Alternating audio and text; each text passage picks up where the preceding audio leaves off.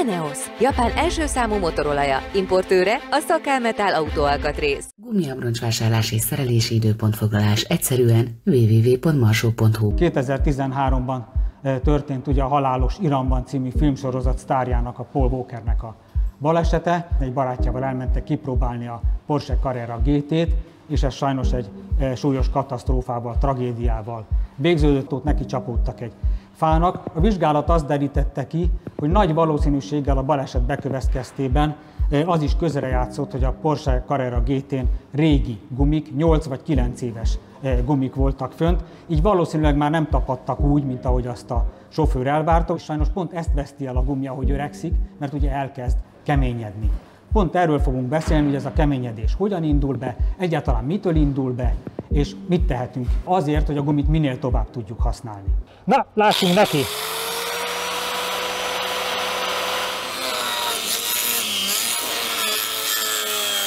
Amikor gumik élettartama kerül szóba, majdnem mindenki a kopásra gondol, hogy egyszer a gumi elkopik és ki kell cserélni.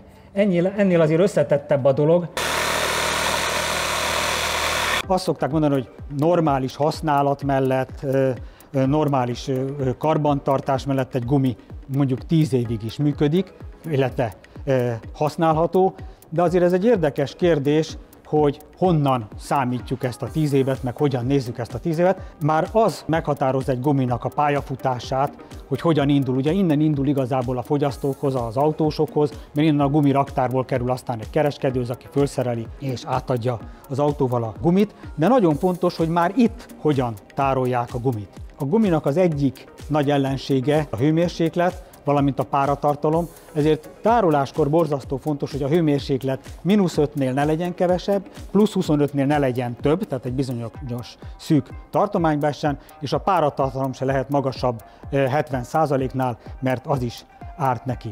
Na most, ha így tárolják viszont a gumit megfelelő körülmények között, az új gumit, akkor azt szokták mondani, hogy igazából egy gumi három éves koráig új. A nagy kérdés persze az, hogy honnan indulnak ezek a bizonyos számok.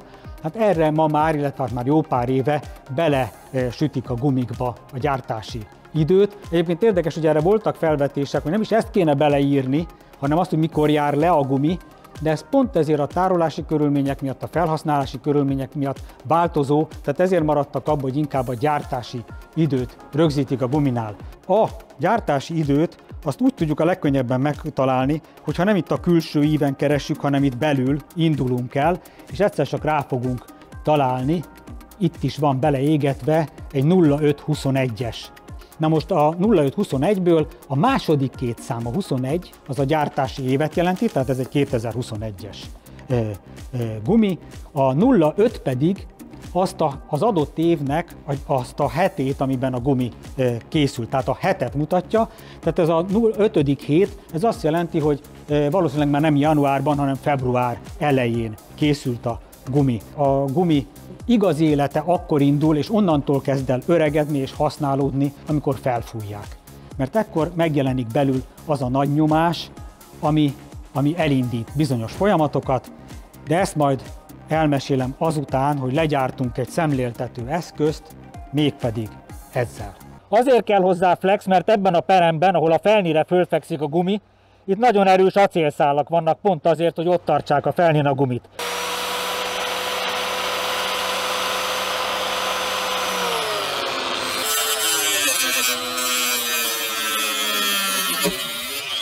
Hú, azért nem is olyan egyszerű ez, mint az ábra mutatja.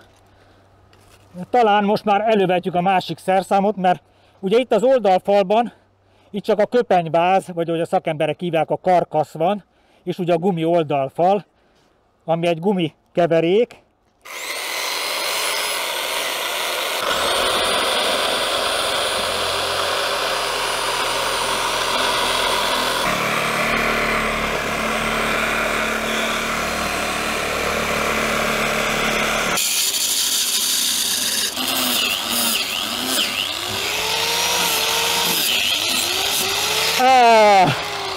Siker! Hú. Tehát megvan a szemléltető eszközünk, az oldalfal az gumikeverékből áll, és itt van a karkasz, a köpenyváz, ami körbefut az egész gumin. Annak a száliránya ilyen, ezért hívják ugye radiálguminak, és itt vannak a futófelület alatt azok az övek, amik szabályosan, hogy körbe vannak tekerve, mint az emberen a, az öv. Először acélövek vannak, itt látszanak is a drótok, azon kívül vannak a, a nejlonöv, vagy műanyagból készült öv, még az védi, mert ugye az az átmenet tulajdonképpen a futó felület gumiához, ami ugye a tapadást biztosítja, és abban van a mintázat, aminek ugye a célja nem utolsó sorban a vízelvezetés, tehát ez egy elég összetett feladat megoldani azt, hogy a gumi tapadjon is, de a vizet is elvezesse, és mindezt évekig tegye, annak ellenére, hogy a környezeti hatások hatnak rá. Most már rátérhetünk végre arra, hogy mi is okozza azt, hogy a, a gumik öregszenek, vagyis keményednek, kiszáradnak és repedezetté válnak, ami hosszabb távon akár lassú defekthez, de viszonylag gyorsabb defekthez is vezethet, illetve még veszélyesebb jelenségek is föl, föléphetnek, például leválik a futófelület, az azért már egy elég durva történet, de ez is megeshet a nagyon öreg, agyon használt és ö, nem megfelelő körülményeknek kitett gumival. Valamennyire a szemléltető eszközünkön is látszik, de azért a biztos, ami biztos alapon lerajzolnék gyorsan ide egy gumimetszetet, megpróbálok egy kis Móricka ábrával ide rögtönözni egyet. Ugye van a guminak a belső része, rajzoljuk ezt így, és van ugye a, a külső része, ami ugye jön az oldalfal, ugye itt van fönn a futófeled, ezt hagy rajzoljam ilyen vízszintesen, mint valami sportabroncsot, és ugye itt megint van egy ilyen kitüremkedés, mert itt van benne ugye bár itt vannak belül benne azok az acélszálak,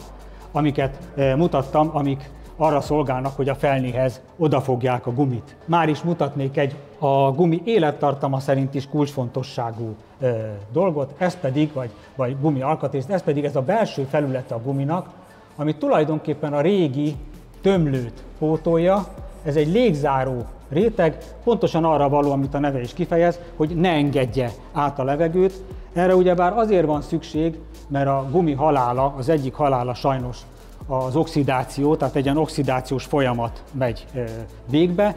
Kívülről is érintkezik a levegővel, de belül ráadásul nyomás alatt van benne a levegő, tehát ez az a probléma, ami miatt a, gumi belülről is erőteljesen tud oxidálódni, hiszen két bár, két és fél báron van benne a levegő. A következő történik vele, itt vannak ilyen szénatomok vannak, rajzolok egy ilyen szép láncot, remélem, hogy jól rajzolom. Ez a, egyébként ez nem a, a természetes kaucsuknak a képlete, hanem a butadién nevű eh, polibutadiénnek a képleteit. Én tudni, hogy a szénhez még hidrogénnek kapcsolódnak, de azt most nem rajzolom ide. Egyszerűsítve így néz ki az ábrája, de rajzolok egy másikat, csak a tükörképét, de attól ez még ugyanaz az anyag. Egyébként tudni kell, hogy a mai gumiknak, személygépkocsi gumiknak kb. a 80%-tól fölfele tartalmaznak mesterséges, szintetikus gumit, és csak egy hiányzik egy szén, és, és csak a többi természetes kaucsuk. Ez amennyire én tudom a, a mezőgazdasági gépeknél kicsit máshogy néz ki. És persze ez a lánc folytatódik hossz, tovább, tehát ilyen láncok vannak a, a gumiban. Na most az a, az oxidációnak a problémája, hogy ezek a szénatomok például eldobják a hozzájuk kapcsolódó eh, hidrogénatomot, és itt az oxigén beépül a két láncolat közé. Tehát képzeljük el, hogy van az a két lánc, ami többé-kevésbé tudna mozogni egymáshoz, majd egyszer csak összekapcsolódnak, a gumi egyre merevebbé válik. A másik ilyen eh, folyamat, ami szintén vegyi folyamat, ami a gumiban lezajlik, azt kell tudni, hogy a maga a gumi anyagában, tehát maga a gumi keverék, az egy vulkanizáció révén keletkezik, és ettől lesz a gumi rugalmas. Ha ez nincs benne, tehát nincs vulkanizálva a gumi, addig olyan, mint a megrágott rágó gumi, egy ilyen nyúlós valami, de ha vulkanizáljuk, akkor nagyon szépen elkezd rugalmassá válni. Apró probléma, hogy megint csak megjelenik a hőmérséklet, tehát ha magas a hőmérséklet, és ugye a gumi gyűrődik, hát ez elkerülhetetlen, hogy használjuk a gumit, ugye a gördül az úton, az folyton gyűrődik, pláne ha mindenféle akadályokon gördülünk rá, az ugye töri a gumit. Ez tovább folytatódik ez a vulkanizáció tulajdonképpen a gumiba, és további láncok, illetve összekapcsolódások jönnek létre, kénes összekapcsolódások a láncba, ami hasonló problémát vált ki, mint ez az oxigénes összekapcsolódás. Keményedik a gumi, öregszik a gumi, és a gyűrődések hatására elkezd repedezni. Két elrettentő példát is találtunk, olyan gumira, például ennek az az érdekesség, hogy ez még messze van a kopásjelzőtől, tehát a mintázata elegendő, de borzasztó megöregedett a gumi, tele van repedéssel. Azért repedett, hogy borzasztó ki van keményedve a gumi, tehát egy új gumihoz képest ez egy, ez egy kőbalta, ezzel követés, diót és nem tudom mit lehetne törni, úgyhogy nem véletlenül lecserélték. Itt jegyezném meg, hogy egyébként maga ez a gyűrés, hogy gyötörjük a gumit, ez nem feltétlenül káros teljesen, tehát egy normális életkorú, normálisan használt guminál ez nem feltétlenül káros, ugyanis a gumikhoz, az anyagukhoz, tehát magához a gumikeverékhez van 6%-os mennyiségben ilyen gyantaszerű anyagot és ilyen olajos gyantát szoktak keverni. Ez azért van, ez megint csak a rugalmasság föntartására van, de ez egy olyan, ez az olaj benne, ez olyan majdnem, mint a motorban a motorolaj, segíti a gumit belülről kenni, tehát hogy a gumi belül dolgozik. Erre szüksége van a guminak, mert ha ezt nem kapja meg, tehát ezt a, a pont a használatból eredően, akkor elkezd kiszáradni. Ezért mondják azt a, a gumigyártók, hogy a, a, a nem használt, tehát például utánfutón használt, vagy lakóautón használt gumiknak, gumikat még hamarabb kell lecserélni, mint az egyébként használt gumikat, mert gyakorlatilag egy, egy gyorsabb öregedési folyamat zajlik le bennük. Na most visszatérve az oxidációra és a, a vulkanizációra, a két fő ö, probléma az ő esetükben a hőmérséklet és ugye az oxigéntartalom.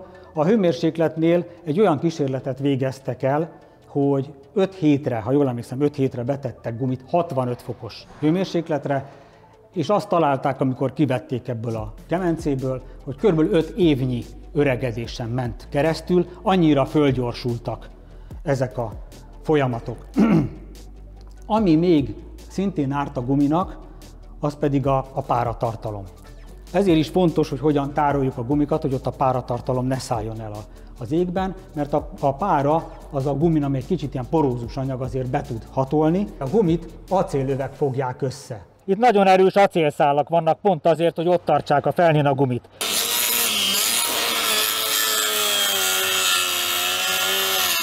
Ha ott a víz hozzá tud férni, beindul egy korrózió, és pont ez az a folyamat, ami azzal végződhet, hogy a köpenyvázról leválik a futófelület egy persze hosszú-hosszú évek után. Sokan úgy teszik tönkre a gumiukat, hogy ez a légzáró réteg, bár jó minőségű, de nem figyelnek oda a légnyomásra, és ez gyakorlatilag ez a légzáró réteg elkezdi dolgozni belül, és eldolgozza magát, elvékonyodik, ugye ez, föl, ez fokozza az oxigén beszivárgását. Tulajdonképpen a, a, az oxigén egy úgynevezett ozmózissal jut be a gumi anyagába, ami milyen molekulánkénti e, beszivárgást jelent, de ez nyilván fölgyorsul akkor, ha a légzáró e, réteg megsérül. De van egy másik gumink is, ami akár elrettentő példa is lehet, hogy mi történik akkor, ha nincs megfelelően fölfújva a gumi, ennek is a mintázata tulajdonképpen jó, de nézzük meg, mi történt. Itt látszik, hogy pont ott ment szét a gumi, pont azon a találkozáson, ahol az oldalfal találkozik a futófelülettel, ott van az acélöv, ott vannak az acélszálak benne, és itt lépett föl. Igaz, hogy itt az igazi hatás ugye az volt, hogy a légnyomás nem volt elegendő, az egyébként jó mintázatú gumiba, és addig dolgozódott itt ez a rész, ugye ez lett volt a legnagyobb gyűrésnek kitéve, addig melegedett és puhult, amíg végül elengedte magát, és a gumi szétszakadt. Ezek okozzák a guminak a megöregedését, ezért van az, hogy az élettartama korlátozott, és azt mondjuk, hogy maximum 10 évig tartja meg azokat a tulajdonságait, hogy biztonságosan lehessen használni. Talán érdemes lenne azt is megbeszélni, hogy mi mit tehetünk, mint felhasználók, hogy ezt az élettartamot minél inkább ki tudjuk nyújtani, minél inkább ki tudjuk használni. Az egyik legfontosabb és talán legegyszerűbb, hogy időnként ellenőrizzük a gumit, ha van nyomásmérő az autóban, ami ugye 2014 óta kötelező, ha figyelmeztet, akkor vegyük figyelembe a jelzését, de ha nincs, mert régebbi az autónk, akkor rendszeresen ellenőrizzük a guminyomást, és nézzük magát a gumit is, mert sokszor a gumi maga kezd el beszélni arról, hogy valami baj van, valami nem stimmel, Például, ha az egyik oldalon vagy a másik oldalon kezd el kopni, akkor valószínűleg a futómű beállításunk ment el. Ha csak a közepe kopik, akkor túl nagy a légnyomás, amit például elfelejtettünk akkor, hogyha hideg időbe fújjuk föl a gumit, és közben megemelkedik a hőmérséklet, akkor ugye a gumiban is megemelkedik a nyomás, tehát azt olyankor korrigálni kell, de az is vészjelzés, ha két széle kezd el egyszerre kopni, akkor meg túl kicsi a nyomás, ami még egy nagyon jellegzetes hiba, bár én remélem, hogy ezt nem sokan követik el, amikor ilyen úgynevezett kagylós kopás lép föl, ilyen egyenletesen ilyen, ilyen hát mint nekem az ujjam, akkora kopások lépnek föl ilyen szünetekkel, ez akkor jelentkezik, ha a lengéscsillapító megy tönkre. Hát én láttam ilyet is, de most ha valaki nem cseréli ki a lengéscsillapítót időbe, akkor nem csak a lengéscsillapítót fogja cserélni, hanem a gumiabroncsát is, tehát szerintem ez nem nagy biznisz, mert dupla költség. De hát e, ez megint olyan, hogy észre kell venni, mint ahogy azt is, ha például a gumi oldala kireped, azt is, ha elkezd esetleg repedezni maga a gumi és öregedni. Amire még érdemes talán vigyázni, hogy a gumi nagyon nem szereti a vegyszereket amivel szerintem senkinek nem jut eszébe, hogy sósavval, kénsavval vagy valami hasonló szörnyűséggel locsolgassa a gumiját, az viszont eszébe juthat, hogy koszos lesz a felnie és lemossa. Vigyázzon arra, hogy olyan mosószert használjon, oldószert, amelyik, amelyikre rá van írva, tehát ezt jobb valami olyan autófelszerelési boltban megvenni, amire rá van írva, hogy az alkalmas, nem bántja a gumit. A másik, amit ugyanekkor követhet el valaki mondjuk felnitisztításkor, hogy túl közel megy a gőzborotválval a gumihoz, azt szokták ajánlani, hogy, hogy a minimális távolság, még viszonylag kisnyomású eh, szerkezettel is, nekem olyan van otthon, 30 cm, én azt mondanám, hogy fél méternél nem menjünk közelebb a gumihoz, mert kárt tehetünk benne, hogy olyan deformációkat okoz benne, úgy megnyomja, ami nem, nem előnyös számára, és amit még érdemes, amit sajnos kezdővezetők szeretnek elkövetni, és nagyon sokat árt a guminak, ha például úgy állunk meg egy járdaszélen, járdaszegélyen, hogy csak a fél gumi, vagy a guminak csak egy része fekszik föl, és az meggyűri a gumit, ott már okozhatunk olyan belső törést a gumiba, ami később repedéshez és a gumi tönkremenételéhez vezethet, valamint még egyre vigyázunk, hogy amikor gumit cserélünk télit, nyárira, nyári télire, hogy megfelelően tároljuk, megfelelő páratartalom és hőmérséklet mellett tároljuk a gumit. És még egyet tehetünk esetleg, kerüljük a tűző napfényt hosszabb távon, az is leginkább a hőmérséklet miatt nem tesz jót a guminak, fölgyorsítja a már elmondott folyamatokat.